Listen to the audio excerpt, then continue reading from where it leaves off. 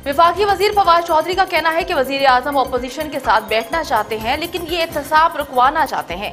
जब उन्हें वहाँ से बुलावा आता है तो जूते छोड़कर भागते हैं। वज़ीर आज़म बुलाएँ तो शर्तें रखते हैं।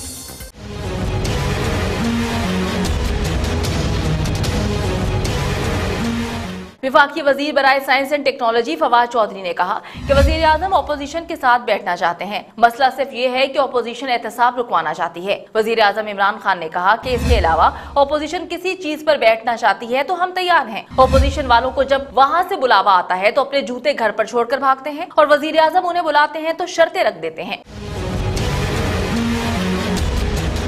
फवाद चौधरी ने कहा कि अपने केसेस उन्हें अदालतों में ही लड़ना पड़ेंगे। बाकी मामला पर बात करने को तैयार हैं। ऑपोजिशन का मुतालबा है कि एहतसाब को छोड़ दें। यह हम नहीं कहते कि नैब को छोड़ दें। बाबर अवान, अलीम खान और सप्तैन खान अपने अहदों से मुस्ताफी होकर नैब केसेस लड़कर वापस आए। उनका मजीद कहना था कि नैब ने अपना दायरा कार बहुत फैला दिया है, जिसकी वजह से नैब से जो उम्मीदें थी, वो पूरी नहीं हुई। लेकिन इसका ये मतलब नहीं कि एहतसाब का अमल रोक दें। पहले ये बयानिया चलता रहा कि खाता है तो लगाता भी है, लेकिन अब ये बयानिया नहीं चल सकता।